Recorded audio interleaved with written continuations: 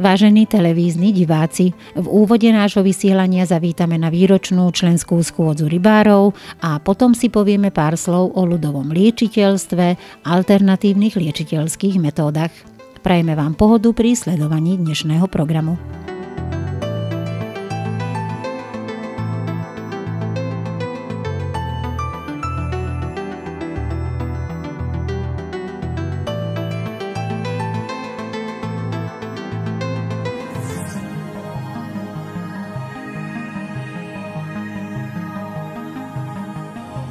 Mesto Hurbanovo oznamuje občanom, že v čase prísnych epidemiologických opatrení vyhlásených Úradom verejného zdravotníctva bude poskytovať pre seniorov a osobám, ktoré sú odkázané na pomoc, službu nákupu potravín, drogérie a voľne dostupných liekov.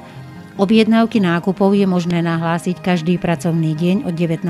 októbra 2020 v čase od 7.30 do 10. hodiny na telefónnom čísle 035 37 00 222 alebo na čísle 035 37 00 205. Následný rozvoz objednávok bude prebiehať ešte v ten deň o 13. hodiny.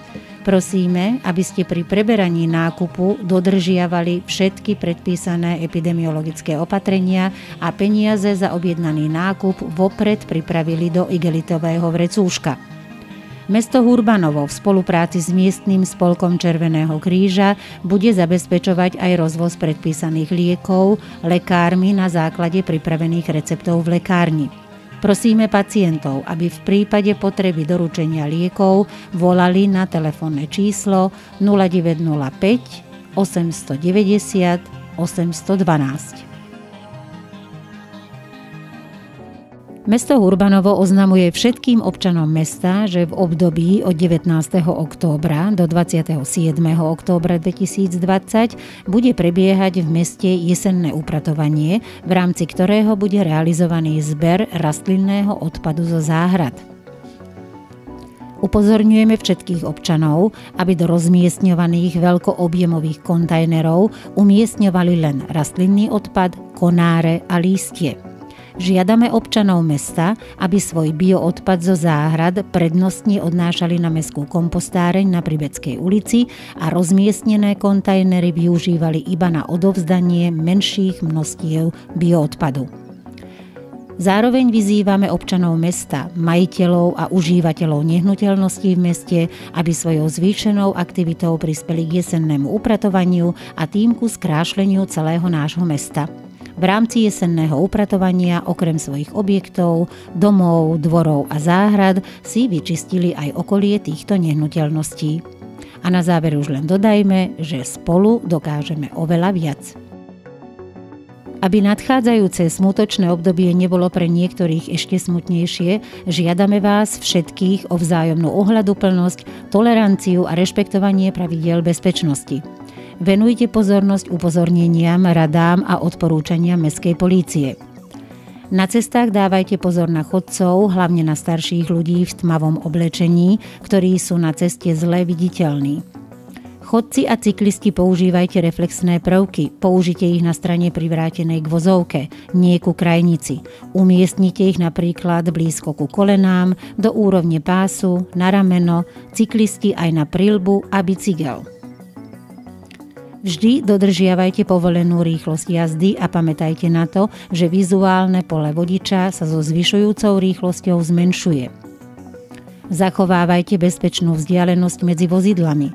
Napadané lístie a mokrá vozovka predlžujú brzdnú dráhu a znižujú váš reakčný čas. Vždy používajte bezpečnostné pásy aj počas jazdy na krátku vzdialenosť, a to všetci pasažieri vo vozidle. Nezabúdajte na zákonnú povinnosť používania detských zadržiavacích zariadení vo vozidlách pre deti do 150 cm. Pri parkovaní buďte opatrní, nenechávajte si v aute cenné veci, doklady, tašky, to všetko je veľké lákadlo pre zlodejov. Pri zaparkovaní motorového vozidla skontrolujte, či ste vozidlo uzamkli. Mestská polícia v Urbanove počas sviatočného obdobia zvýši svoju hliadkovaciu činnosť v okolí všetkých mestských cintorínov. Buďte všetci nielen opatrní, ale aj obozretní a nedajte zlodejom šancu. Prajeme vám pokojné a bezstarostné sviatky všetkých svetých a pamiatky zosnulých.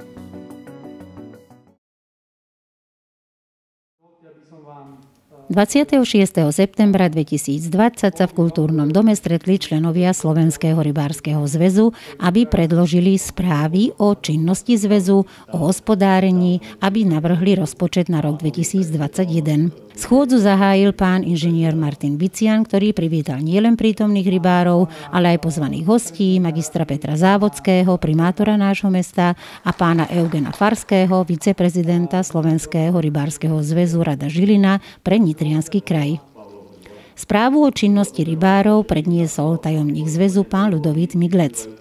Okrem iného informoval členov aj o tom, že pán Tibor Balla sa vzhľadom na svoj zdravotný stav vzdal funkcie predsedu od 1. októbra 2020, ale naďalej ostáva vo výbore ako podpredseda.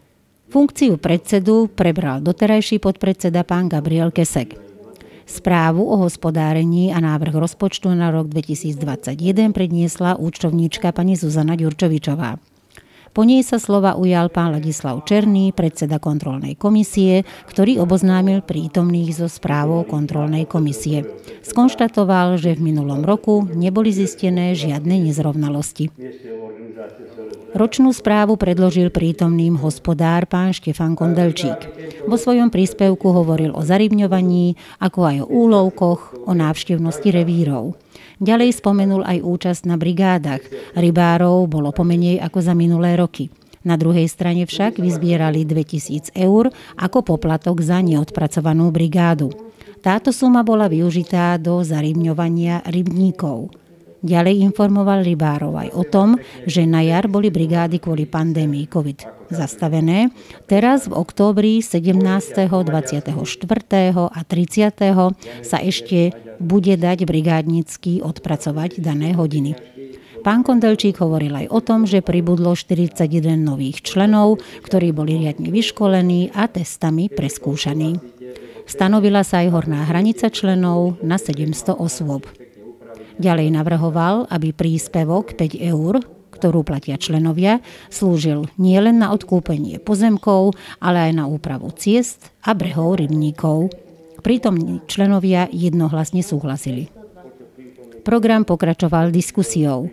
Po nej nasledoval príspevok inžiniera Ľudovita Pastoreka, ktorý predniesol správu mandátovej komisie.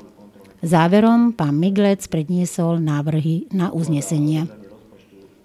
Pokračovalo sa žrebovaním tomboli o miestne rybolovné povolenie. Losovania sa ujal pán Farský, ktorý vylosoval výhercu. Stal sa ním pán Peter Hakve.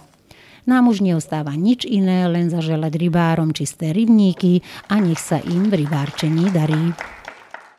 Tým členom, ktorí sa zúčastnili v roku 2019 na našich brigádach, to bola každá sobota mesiaci apríl a boli jesenné dve, tým sa veľmi pekne ďakujem, poďakujem, by som sa chcel poďakovať, ale aj tým, ktorí sa už pravidelne nezúčastnili na našej brigáde. Za toto hovorím, že sa aj tým ďakujem, lebo oni, samozrejme, kto sa nezúčastní na našich na brigádach, majú príspevky, e, prispievajú do zariadenia, to není pokuta, ale príspevok do zariadenia. V celkovej hodnote za rok 2019 sme vyzbierali 2000 eur. Ja im pekne ďakujem. Tie peniažky nám sa dotezujú.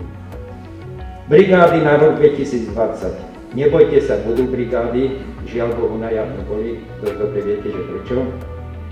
Brigády tento rok 2020 e, budú v mesiaci október, každá sobota.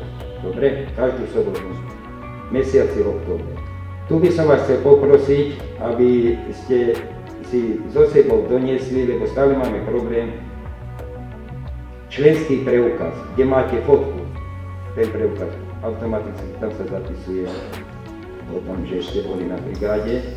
Činnosť bude upratovanie okolo našich revírov a uvidíme, aké počasie bude, chceli by sme aj nejaké tie malé náletové stromky, kríky tam vyrúbať, takže by som vás poprosil, aby ste si donesli náčinie, sekeru, mačetu, pílku, dobre? Zraz bude stále 8 hodín pred rybárským domom, nie na prevíroch, ale pred rybárským domom, dobre? Samozrejme, ide jeseň, bude aj jesenné zarybnenie, lebo veľa ľudí sa už pýta, že ako čo bude.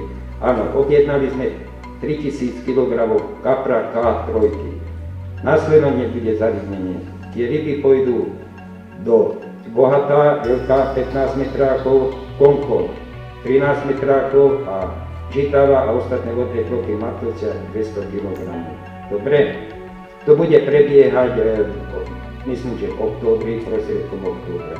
Samozrejme, tabule budú vonku, každý bude informovaný, že tam bude zákaz lovu rýb, všeobecný zákaz lovu rýb, na 14 dní vody sa uzatvárajú na 14 dní, nie na 30, na 14 dní, dobre? Aby sme sa pochopili. A na ostatných revíroch je lov rýb povolený.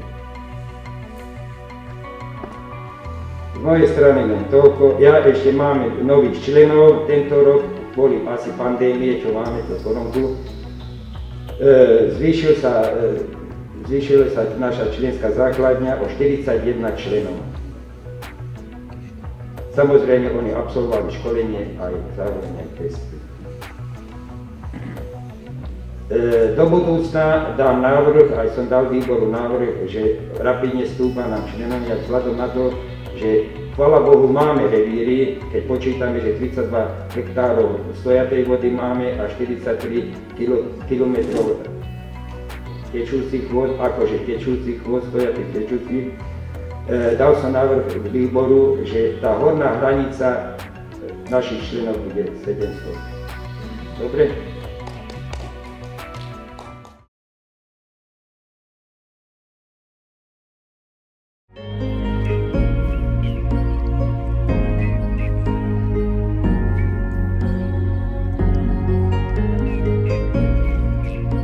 Ľudia vždy vyhľadávali pomoc ľudových liečiteľov, ktorí v sebe kombinovali magické praktiky s racionálnymi schopnosťami, vedomosťami, skúsenosťami, odovzdávanými z generácie na generáciu.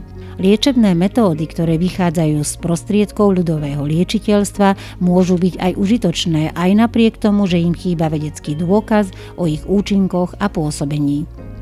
Ľudový liečiteľ z nášho blízkeho okolia nám pripomenie dávno zabudnuté metódy liečenia alebo staré spôsoby liečenia našich predkov, predstaví svoj názor na pandémiu COVID-19, zdôrazní, aký vplyv má pozitívna energia na náš organizmus a na našu imunitu. Priblíži nám, ako sa môžu ľudia preliečiť pomocou energie v domácom prostredí. Pripomenie nám, že pre našich predkov to boli tradičné spôsoby posilnenia odolnosti organizmu voči rôznym chorobám a infekciám a dodal, že so svojím liečiteľstvom chce pomôcť lekárom a nášmu zdravotníctvu a odbremeniť tak už aj tak preťažený zdravotný systém. Ľudoví liečiteľia sú ľudia, ktorí sú citlivejší ako, ako obyčajní ľudia, ako väčšina ľudí a majú určitú danosť, vrodenú danosť, ktorý, ktorý, ktorú danosť rozvíjajú a, a tieto poznatky, nehovoríme, že šporia, ale tieto poznatky e, využívajú pri liečbe. Koronavírus, ktorý je, ten COVID, je veľmi nebezpečný pre ľudstvo, lebo zasahuje, celý svet zasahuje. A každý, každý musí, sa musíme pričiniť tomu, aby sme tom, to zabrzdili nejakým spôsobom. Preto som sa rozhodol, že niektoré, niektoré um, liečiteľské metódy, ktoré, ktoré každý, kto bude v karanténe alebo doma sa bude zdržiavať, nevieme, ako to sa to bude vyvíjať, nájde tieto veci doma, ktoré, ktoré veci určitým spôsobom, keď, keď upravia, tak vyžarujú energiu, ktorá ich bude liečiť, bude im, bude im eh, zosilňovať imunitný systém, bude, bude im ich, ich telo harmonizovať, ak tomu rozumiete, a, a hlavne, ne, že choroby, ktoré majú tie ľudia, ktorí sa vracajú tie choroby. Neviem rýchlo si spomenúť, že aké, ne, spomeniem si potom, sa liečia alebo sa utlbujú a zosilňuje sa imunitný systém človeka. Ľudské telo bez, bez energie, ktoré dostávame z univerza, z, z zeme a ktoré sa nám, ktoré sa nám v našom tele rozvíja, drží, drží naše telo v pohybe. Ináč je ľudské telo bez energie je kopa nešťastia, 80% približne vody a, a ďalšie percentá sú minerály, to vieme. Vieme aj z Biblie, že z prachu si na prach sa obrátiš. Ten prach to sú tie, tie minerály, ktoré, tých 20%, ktoré obsahuje ľudské telo. Keď tak počítame pri tých chorobách, ke, že, že doktori a liečiteľia, že sú ohromní, nie je to pravda, lebo ľudský mozog je to najohromnejšie niečo, čo, čo, čo má ľudstvo, lebo, lebo dokáže, mozog dokáže liečiť svoje telo, ale treba mu dať pomoc. A pomoc dostáva, energiou dostáva pomoc, aby mohol vyliečiť zápaly a, a ostatné choroby, zlomeniny, nehojace rany a tak ďalej. Tým sa zosilňuje imunita, že, že tráviaci systém sa dáva do poriadku a tam tieto orgány zodpovedajú za čistotu krvi, na, na vylučovanie jedov a tým, tým pádom celé telo sa dáva do poriadku tým, že imunitný systém sa, sa zosilňuje. A táto energia, ktorú, ktorú dostávame, ktorá nás drží v pohybe, nám zosilňuje bunky a hlavne pri, tejto, pri týchto vírusoch keď máme silné bunky, máme, majú dostatok kyslíka, sú dosť silné, tam, tam nemá šancu žiadny vírus, tam sa do toho dostať do tých buniek a zoslabiť telo a, a po prípade celý chod. Pripravil som sem veci, ktoré, ktoré každý, každý človek má doma a dozviete sa o nich e, teraz také, čo, čo není každodenné a a ako ich využijete, využijete pri, pri svojom liečení a zosilňovaní vášho organizmu. Budeme hovoriť aj o iných veciach, ale začneme, že chleba máte doma každý. Chleba, chlieb máte doma. Tento chlieb aj z Biblie vieme, že, že je darom, Boží dar pre ľudstvo. Tento, tento chlieb, keď, keď rukou prejdete cez ňu, cítite to vyžarovanie z toho, z toho chleba a toto vyžarovanie nás liečí. Zosilňuje a lieči, o čom som pred chvíľou hovoril.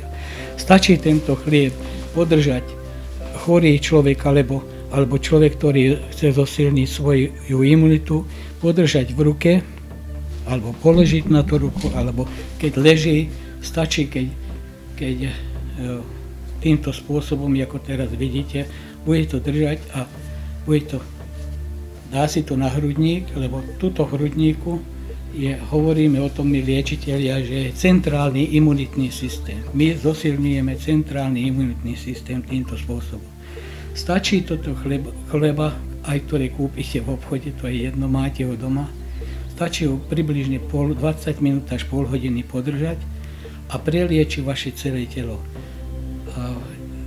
Budete cítiť také, niektorí cítia mierne teplo, niektorí mierne mravenčenie v rukách, ako to držíte a potom, potom až na, na, na, na petách, na spodku nôh tiež cítite také mierne teplo. No, toto je jedna vec. A druhá vec, kúrbu chleba vyhadzujeme, väčšinou všetci vyhadzujeme, ale Takisto, keď túto chôrku rozdelíme a spravíme z neho takýto trojholníček, táto chôrka má tiež, tiež e, liečivé účinky, že to vyžaruje. Ako radár, tak vyžaruje. To, čo vyhadzujeme z kuchyne, to, to nás lieči. Zapisujte si tieto veci a, a potom to to robte. Stačí to, toto keď, chorý človek e, položí na to takéto, takýto tanierik, čo si nájdete tiež v obývačke. Urobíte si aj druhý, aby to, ten trojholník zostal, tak to môžete, keď vydržíte 20 minút až 20 až 30 minút, celé telo vám veľmi silne prelieči. Kým pozeráte televízor alebo, alebo televízne noviny a správy, zatiaľ si sadnete a prelieči vaše telo. Takéto trojholníky aj, aj zakrieme a môžeme chorému dať pod podhlavník. Takto, aby ten trojholník sa ne, ne, nedošmykol do seba, lebo ako náhle sa došmykne do seba, už to nemá toto silné vyžarovanie. E, včera, včera vláda odsúhlasila, odsúhlasila uh, tie hromaždenie, aby sa nero, nerobili sú zakázané svadby, e, svadby a ostatné šport, omše a, a športové podujatia.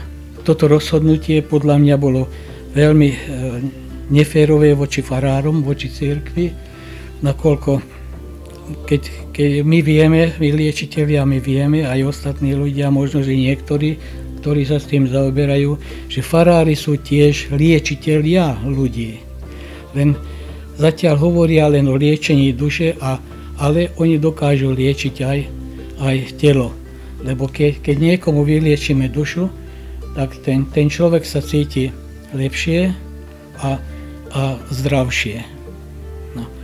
A zase kostoly to sú, to sú stavané pre ľudí, aby sa tam išli nielen modliť, ale sa liečiť, lebo tam je ohromné vyžarovanie, veľké vyžarovanie, niekto to cíti, niekto nie, ale my to cítime, že povedzme ultár, ktorý, ktorý je v kost, každom kostole, má vyžarovanie do 33 metrov, má vyžarovanie. Takže skoro celý, celý kostol je, je pod žiarou, ktorá zosilňuje imunitný systém, zosilňuje, upravuje zdravotný stav človeka, ktorý, ktorý, ktorý sa tam zdržiava. Ďalej tie obra, e, obrázky svetých a sochy svetých tiež vyžarujú, vyžarujú do, do 10 metrov, takže ktorí sú na, boky, na bokoch kostola, buď, buď obraz alebo, alebo socha svetého, tak na 4,5 metra, 4, od 4,5 do 10 metrov vyžaruje. Takže celý kostol je pod, pod energetickým žiarením, ktorý napomáha uzdravovaniu človeka. Takže tam by bolo treba v kostoloch organizovanie, aby, aby každý si nosil rúšku, tie hygienické veci dodržiavať a rozsadenie, vlastne vzdialenosti tiež dodržiavať a, a kostoly nie zavierať, treba kostoly treba na celý deň otvárať, aby sa tam mohli striedať ľudia, aby sa nenahrnuli všetci naraz, ale aby boli striedavo podľa, podľa, podľa e, tých rozostupov. Poproste e, pána Farára, aby, aby vám dal svetenú vodu, ktorú ktorú vám vysvetlím, že akým spôsobom lieči. Táto svetená voda tiež vyžaduje, keď, keď donesete z kostola svetenú vodu, keď náhodou nemáte doma, môžete to roz, rozliať do, tých, do takýchto malých fliaž a, a keď sa to dá do trojuholníka 3x3 alebo 7x7 cm od seba, má ohromné vyžarovanie a veľmi silno nás to lieči. To takisto je 1 meter vy cítite. Ne, nevysvetený človek cíti približne do 1 metra. Vysvetený alebo, alebo liečiteľia, ktorí sa s týmto zaoberajú, toto cítia až na 33 metrov približne. Ja som to skúšal, na, ja som to cítil na 25 metrov, keď som týmto veciam, týmito vecmi začal zaoberať. Ľudia, ktorí, ktorí náhodou budú, budú v nemocniciach a ťažko chorí od tohoto covidu, by som doporučoval, doporučoval by som do, do nemocnice zobrať pod postiel chorému, pod postiel svetenú vodu a dať to do trojholníka. A dokáže to, dokáže to zázraky. Možno, že skrini máte niekde, ešte od, od svojich predkov, od starých mám Svetú Bibliu, ktorú tiež môžeme využiť na, na liečenie, lebo, lebo má, má svoje Svetá Biblia aj tak táto, len takže je to Sveté písmo a čo je sveté, to vyžaruje a to, to zosilňuje človeka a lieči. Lenže keď to zoberete zo skrine, je potrebné, aby ste ho na, na svetle týmto spôsobom presvetlili. Takže svetlo, aby sa dostalo na to sveté písmo, môžete aj trikrát, takto. A potom zase budeme skúšať, že tá Biblia vyžaruje. Nižšie ruku dať, nižšie. Tam je. Prstoch. Dobre. No. Stačí, stačí sa zdržiavať blízkosti tejto Biblie, takejto Biblie, keď máte doma, alebo držať ho buď, buď e, takto v rukách, alebo, alebo ho dať na, na, na hrudník, alebo, alebo nižšie pohodlenie človeka by to, to držal. Tu, aby sa nedotýkali prsty do seba, to je tiež zásada, a z dvoch strán to držať a môžete to opierať aj na, aj na bruchu. A stačí takto tejto, tejto polohe e, držať tú tú Bibliu 20 minút až 30 minút, ale, ale keď budete to dlhšie držať, niektorí aj zaspia pri tom, zaspí pri tom, lebo tá energia ho, ho nejako harmonizuje a človek sa cíti v pohode, lebo keď mal bolesti, tak necíti bolesť, keď mal, mal dýchaním problém, tak sa dýchanie uvoľní. Nájdu sa nejaké sveté obrázky, sveté obrázky, ktoré, ktoré tiež, keď sa povie svetý, alebo keď je tam svetý, tak to má svoje vyžarovanie a to nás lieči. Keď zase tieto obrázky umiestníme tak, že do tej trojice, do toho trojholníka, je, je veľmi silné vyžadovanie a, a stačí, keby ste tieto tri obrázky pripevnili na na nejaký kartón alebo, alebo už e, čo si nájdete doma. Na obrúsok sa to pripevní a potom ten sa pripevní na, na stenu. Tam, kde je chorý človek, tam, tam e, veľmi silne e, ho, ho ožaruje a lieči. Tak, takisto, ako na oltári, pamätáme sa ešte, že naše staré mamy mali doma svoj oltárik, ktorý, ktorý tú miestnosť ožaroval a, a liečil ich, keď sa tam zdržiavali. Alebo, alebo niečo môžete na to dať a pohodlne položiť si ruky a vydržať tých 20, 20 až 30 minút a ste preliečení. Aj pooperačné stavy sa liečia týmto spôsobom. E, zlomeniny, nehojace rany, ale máte to doma, každý, si to vybere, keď, vtedy, keď je, je to potrebné. Len aby ste si tieto veci zapamätali, že to takto funguje. Keď jedna tretina ľudí zachytí tieto veci, už, už budeme cítiť, že zbytočne sme nehovorili a zbytočne sme tu netrávili čas. Každý, každý nech si to zobere podľa seba, jak sa rozhodne, lebo niektorí sa na tom budú smiať, ale tí, ktorí, tí, ktorí e, si to zoberú k sebe, tak im to pomôže.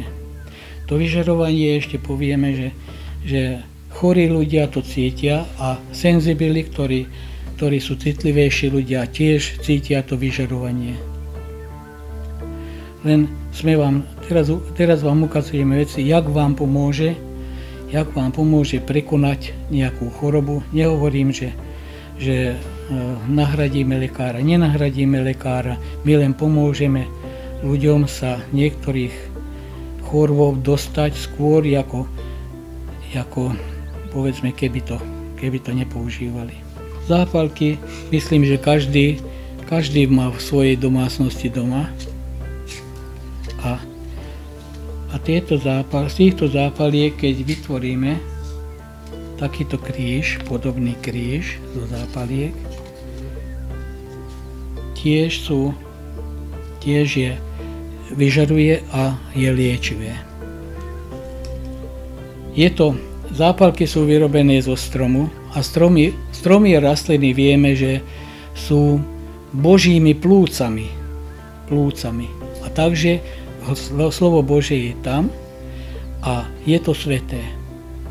A keď z toho spravíme takýto krížik, ten krížik vyžaruje, ten, ten, ten povedzme, ten, ten strom, keď dáme do kríža, ono to lieči, má liečivé účinky. V niektorých domácnostiach, kde nemáte zápalky a máte len zapalovače, tam vyjdete von a z nejakého stromu takúto vetvu, takúto vetvičku odseknete, vlastne odtrhnete a spravíte z neho doma takéto krížiky. No, keď sú tri, tak do jedného metra, do výšky jedného metra a široko na, na 33 metrov uh, žiary. Takže keď, budete, keď v bloku bývate, tak aj, aj, aj svojich, aj ešte aj horných, aj dolných budete liečiť, čo pod vami bývajú. v Amerike teraz nedávno bolo na internete, že dovolili liečiteľom uh, liečiť aj v nemocniciach, ako ako poradcov a potom aj pomáhať liečiť e, určit, doktorom vlastne v určitých nemocniciach. Iste sa pamätáte, pred 25-30 rokmi e, v televízore, televízore liečil pán Gašparovský, keď, keď na celom, celý štadión bol plný ľudí a, a liečili. Takže ak sa pamätáte, on, on hovoril, on do, do mikrofónu kričal sveté, svet, sveté čísla, trojku, 3, 33. Aj tuto, keď, keď vypoviem, že 33, keď si takto dáte ruky hore, začne, iste pocítite určité brnenie v rukách.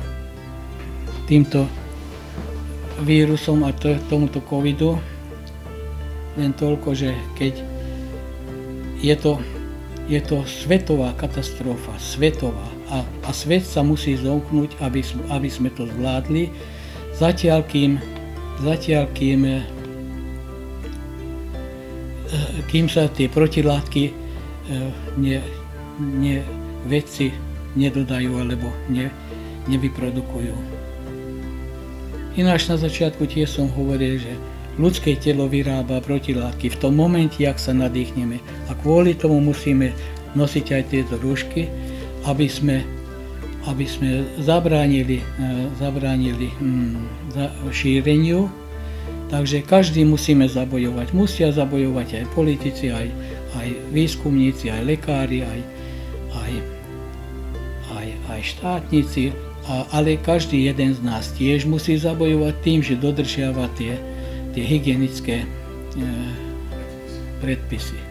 Ešte na záver by som vyzval všetkých liečiteľov na Slovensku a na okolí, aby, aby sa zúčastnili tohoto, mm, tohoto nebezpečia, to, aby, aby zmiernili, zmiernili e, dopad tohoto koronavírusu. E, poznatky máme toľko, že približne pred 30 rokmi bolo na Slovensku 5000 liečiteľov a s týmto by som ich vyzýval, aby sa, sa, sa zúčastnili tohoto procesu, aby pomáhali ľuďom.